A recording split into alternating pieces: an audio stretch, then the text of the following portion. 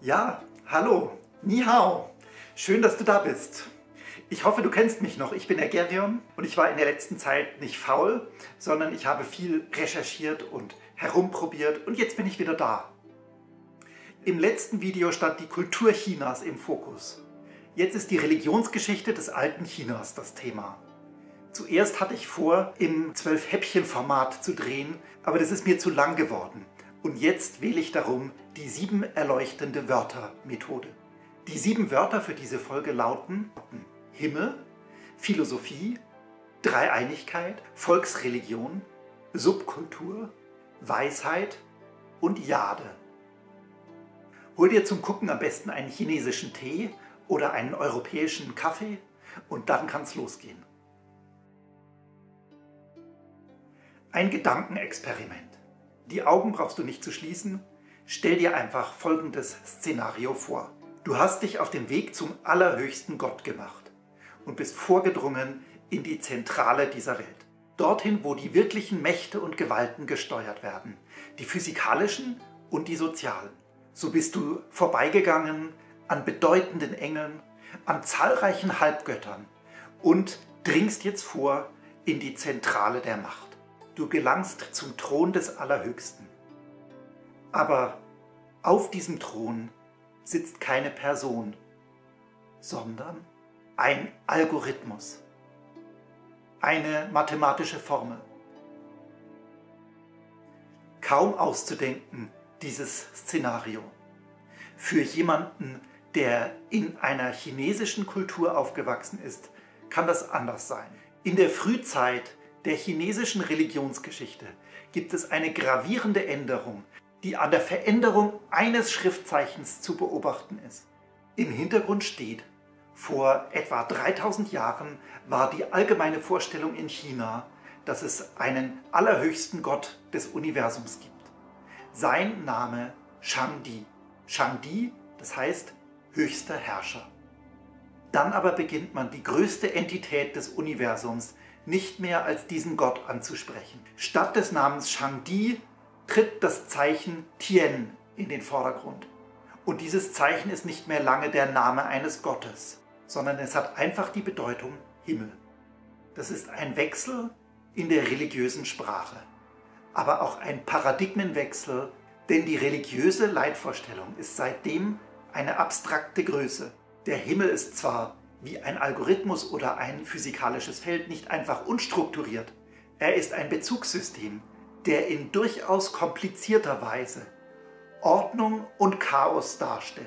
Im Himmel kann durchaus ein Gott oder mehrere Götter sein, aber der Himmel selbst ist nicht personal. Wer ihn beherrscht, ob ein anthropisches Wesen oder nicht, das können wir nicht sagen. Wir haben in der letzten Folge bereits die Orakelknochen gesehen. Bei Orakeln wird nach einer gewissen Zeit nicht mehr ein bestimmter Gott gefragt, sondern der Himmel. Auch die Gebete richten sich vielfach an den Himmel, mit Dank, Bitte und Klage.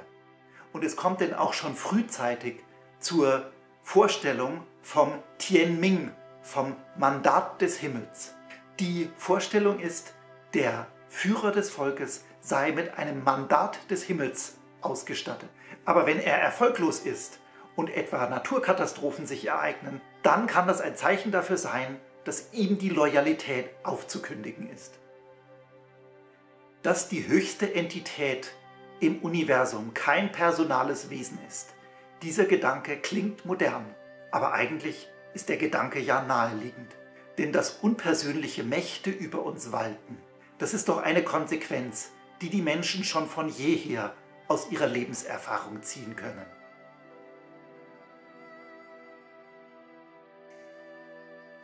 Mein philosophischer Lehrer Elmar Hohlenstein, der übrigens auch einen guten Essayband über China veröffentlicht hat, hat einmal spekuliert.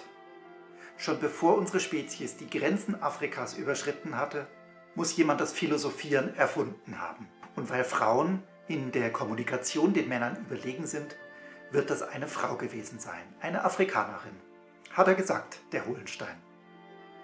Im antiken Griechenland hat es jedoch eine Blüte der Philosophie gegeben, in der Standards gesetzt worden sind, an denen man nun nicht mehr vorbeikommt. Und das waren allesamt Männer, die Griechisch gesprochen haben. Die begrifflichen Grundlagen und die klassischen Texte wurden in einer frühen Zeit formuliert. Und es hat sich nicht nur eine bestimmte Form von Philosophie etabliert, sondern ein ganzes Menü philosophischer Traditionen, auf die der denkende Mensch zurückgreifen kann. Die europaprägende Religion, das Christentum, ist erst nach dieser Zeit entstanden, sogar ebenfalls überwiegend in griechischer Sprache. Das Menü philosophischer Traditionen hat also die Menschen in ihrem Hunger nach geistiger Orientierung nicht satt gemacht. Für mich, der ich in meinem Hauptberuf Pfarrer bin, ist das ein klarer Beleg dafür, dass die Philosophie nicht wirklich vollständig taugt für die Bedürfnisse des inneren Menschen. Ähnliches bestätigt auch die Entwicklung in China.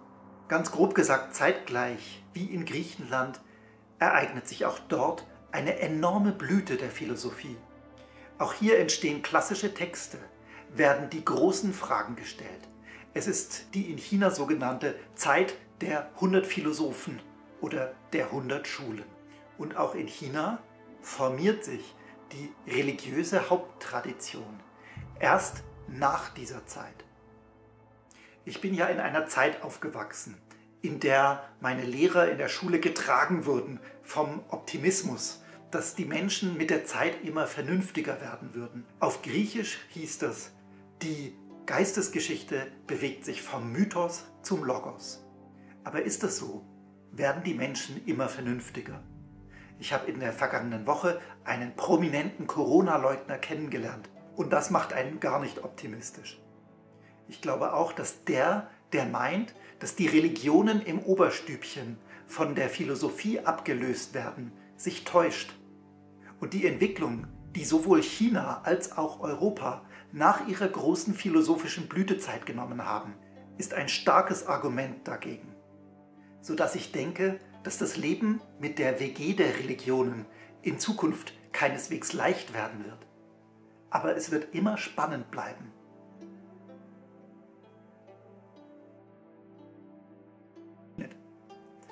Dieses Gemälde aus dem 12. Jahrhundert nach Christus zeigt einen Konfuzianer, einen Buddhisten und einen Daoisten, wie sie miteinander lachen. Dabei sind Konfuzianismus, Buddhismus und Daoismus sehr unterschiedliche Heilslehren. Sie sind verstandesmäßig, logisch kaum vereinbar und trotzdem bilden sie eine fröhliche Gemeinschaft. Dass eine logische Schwierigkeit unterlaufen wird durch religiöse Axiome, das dürfte einem Europäer nicht ungewöhnlich vorkommen. Auch wenn viele Europäer nur ganz wenig vom Christentum wissen, kennen sie doch den Begriff der Dreieinigkeit Gottes. Logisch schwierig, aber religiös gesetzt und für über 90 Prozent der Christenheit, inklusive meiner, die beste Lösung einer schwierigen Frage. In der chinesischen Geisteswelt gibt es die Tendenz, die drei hauptsächlichen Heilslehren ebenfalls trotz logischer Schwierigkeiten zu verbinden. Sie werden Sanjiao genannt, das heißt drei Lehren. Sie entwickeln sich als eigene Religionen zutiefst unterschiedlich und haben sich gegeneinander auch heftig bekämpft. Aber dann kommt auch wieder ein ökumenischer Geist auf. Und von da an spielt der Unterschied lediglich eine untergeordnete Rolle. Dieses bekannte Bildmotiv zeigt etwa, wie Konfuzius, Lao Tse und Buddha zusammen einen Essig kosten. Ich vermute, es ist eine Art Balsamico. Konfuzius findet ihn sauer. Buddha findet ihn bitter. Und Lao Tse süß. Das Bild erklärt folgendes. Konfuzius nimmt das Leben sauer als Pflicht. Buddha betont das Bittere, das unerklärliche Leid.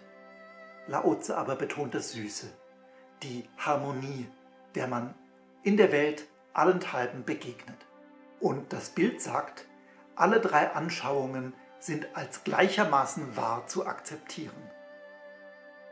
Übrigens haben diese drei Heilslehren eine Gemeinsamkeit, die sie gegenüber etwa den westlichen Religionen teilen. Alle drei China prägenden Hauptströmungen des Geistes betrachten die Welt nicht theologisch, von einer bestimmten Gotteserfahrung oder Gotteskonzeption her. Der Philosoph Jürgen Habermas hat sie darum Gedankenreligionen genannt. Religionen vermitteln Menschen gute Gefühle. Die Leute sagen, der Glaube gibt ihnen Halt, macht ihre Seele ruhig und dergleichen. Unter anderem tun dies Religionen mit Geschichten, bei denen am Anfang oder am Ende alles gut ist. Volkstümlicherweise erzählt man sich in China Geschichten, an denen am Anfang der Zeit über längere Zeitspannen hinweg Menschen gewirkt haben oder Halbgötter oder Götter, die die Kultur gebracht haben denen, die jetzt leben. Es sind drei göttliche Erhabene und dann fünf Urkaiser, die die Ehe, die Schrift, die Landwirtschaft und so weiter beigebracht haben. Fachsprachlich bezeichnet man sie als Kulturheroen. Die Vorstellung ist, dass sie in einem paradiesischen Zeitalter gelebt haben, in dem die Welt noch jung und unverbraucht gewesen ist. Ein gutes Gefühl. Diese mythologischen Figuren sind nun keiner bestimmten Heilslehre zuzuordnen.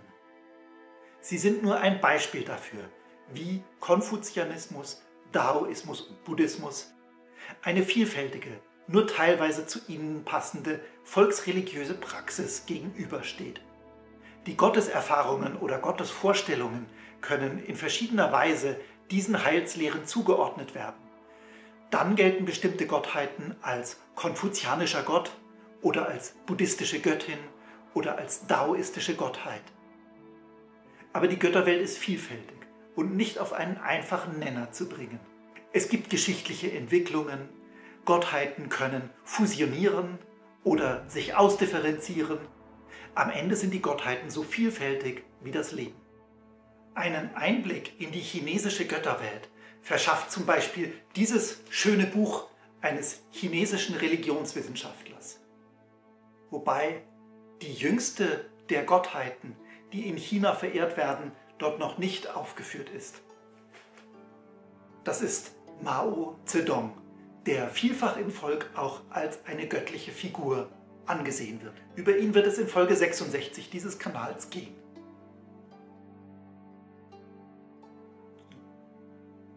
Ziemlich zentral in China und nicht weit entfernt von der Hauptstadt Beijing liegt die Stadt Langfang.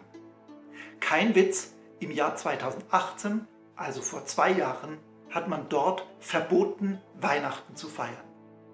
Die Kommunisten fürchteten angesichts von Weihnachten um die öffentliche Ordnung. Sicherlich kann man sich über dieses Beispiel von behördlicher Intoleranz empören. Und das Beispiel ist nur die Spitze eines Eisbergs von Maßnahmen, von denen die Christen in China ein Lied singen können. Zu denen Drangsalierung von Kirchenleuten, Verhaftungen und und Sprengungen von Kirchengebäuden gehören. Zu wissen ist allerdings, die religiöse Intoleranz in China ist nicht erst mit dem Kommunismus aufgekommen. Eine grundsätzliche Religionsfreiheit gab es auch im alten China kaum. Überhaupt war der Staat per se keineswegs religionsfreundlich. Für die meisten Zeiten gilt, dass die Behörden die Religionen nach ihrem vermeintlichen Nutzen oder Schaden eingeschätzt haben. Immer wenn sich die Beamten für etwas Besseres hielten als das gemeine Volk, also praktisch immer, konnte es vorkommen, dass besonders eifrige Amtsträger Verfolgungen veranstalteten. Religiöse Gruppen entwickelten von jeher die Tendenz, in Subkulturen auszuweichen. Es gibt für diese Subkulturen die pejorative Bezeichnung Sekten. Dass diese gelegentlich eine problematische Dynamik besitzen, das ist ja auch in Europa so. Bis in die Gegenwart sind also in China religiöse Gruppierungen verbreitet. Bewegungen unterschiedlicher Couleur, vielfach im Verborgenen. Oft sind sie harmlos, manchmal aber auch nicht. Ein liberaler Umgang mit religiösen Strömungen, wie er uns Europäern als selbstverständlich erscheint, würde mit der Zeit sicherlich zu weniger Underground-Sekten führen. Aber womöglich sehen das die kommunistischen Machthaber anders. Das Thema Weisheit ist in der WG der Religionen eine große Sache, über die in diesem Kanal noch viel die Rede sein wird. Grundsätzlich zuerst einmal. Alle Religionen besitzen weisheitliche Traditionen. Sprüche und Lebenslehren, die eine Tendenz haben in Richtung Stabilität und Kontinuität. Bei ihnen allen dominieren ältere Menschen das Bild. Das große Gewicht, das die chinesischen Religionen auf dem Thema Weisheit haben, hat man schon lange beobachtet. Ich denke, es steht im Zusammenhang mit der großen Kontinuität, die in China ohnehin vorherrscht. So kann der hier gezeigte junge Mann zum Beispiel behaupten, ein Nachkomme des Konfuzius zu sein. Es gibt einen lückenlosen Familienstammbaum, demzufolge dieser Mann Konfuzius Enkel in der 79. Generation wäre. In Europa gibt es wohl keinen Menschen mit einem ähnlich langen Stammbaum.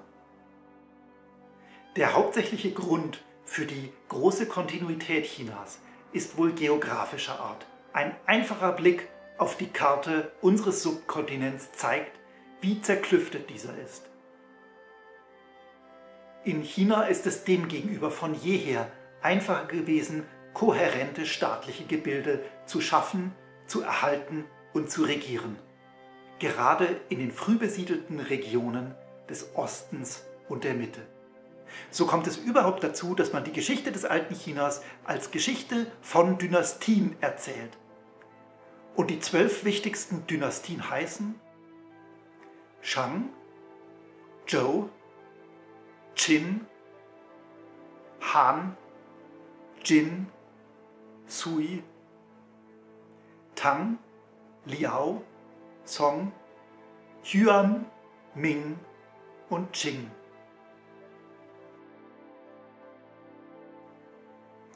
Wenn man den Wikipedia-Artikel über Jade durchliest, stellt man fest, was es für eine diffizile Sache mit der mineralogischen Bestimmung dieses weißen oder grünlichen oder gelblichen oder bräunlichen Steines ist. In China gilt die Jade als vortreffliches Material. Von einem guten Menschen sagt man etwa, er habe ein Jadeherz.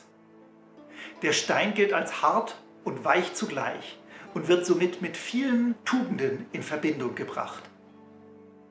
Einer schönen Frau mit ebenmäßigen Gesichtszügen und reiner Haut sagt man auch ein Jade-Gesicht nach. Und die dem Stein zugeschriebene heilende Funktion spielt für die Hochschätzung des Materials eine Rolle. Jade ist damit in besonderer Weise für Religion und für Magie geeignet. Und zwar bereits seit der Steinzeit. Jadefunde gibt es etwa reichlich aus dem spätneolithischen Shimao, dessen Entdeckung kürzlich für Aufmerksamkeit gesorgt hat. Künstlerisch ist die Jadebearbeitung schon frühzeitig auf einem hohen Standard. Rituelle Gegenstände wie zum Beispiel Opfermesser oder Ritualbeile werden bevorzugt aus Jade gefertigt. Kreisrunde und mit einem Loch in der Mitte versehene sogenannte Bi-Scheiben spielen unter anderem bei Bestattungen eine große Rolle. Zeitweise kleidet man die herausgehobenen Verstorbenen in eine Art Jade-Rüstung oder Jade-Panzer, der sie für das Jenseits gut vorbereiten soll.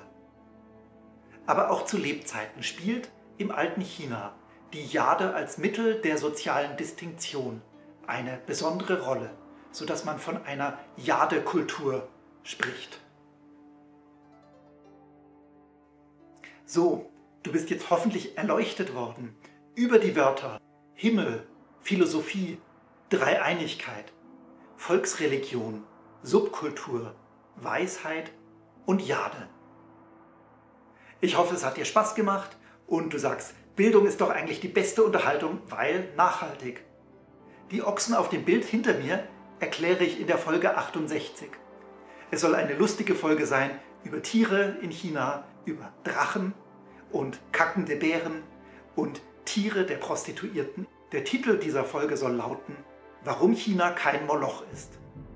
Und Folge 69 ist dann eine Art Spin-off über den ersten chinesischen Kaiser, Qin Shi Huangdi. Auf seine Geschichte am Ende der 60er-Reihe möchte ich hinweisen mit zwei Schnipseln aus Dokumentarfilmen, die ich ganz bemerkenswert finde. Aber ich verabschiede mich vor den Dokus bereits. Bis dann. Ciao. Seidchen. Ciao.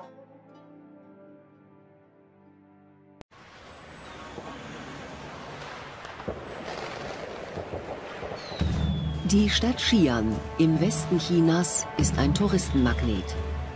Ganz oben auf der Liste der Besucher, etwas außerhalb der Stadt, liegt ein archäologisches Wunder. Die außergewöhnliche 8000 Mann starke Terrakotta-Armee, die hier vor mehr als 2000 Jahren zusammen mit dem ersten Kaiser der Qin-Dynastie begraben wurde. Hier sehen Sie die Soldaten in drei Reihen aufgestellt. Da vorne steht die Avantgarde, die Artillerie mit Pfeil und Bogen, um als erste die Feinde zu stoppen. Im Süden und Norden bilden die Soldaten auf jeder Seite eine Linie, um feindliche Angriffe von allen Seiten abzuwehren.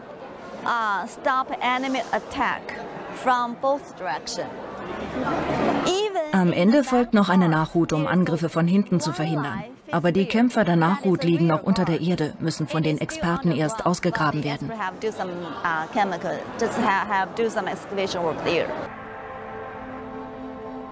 Aber kaum jemand weiß, dass nur ein paar Kilometer weiter eine andere Grabstätte liegt, die einen noch erstaunlicheren Fund birgt.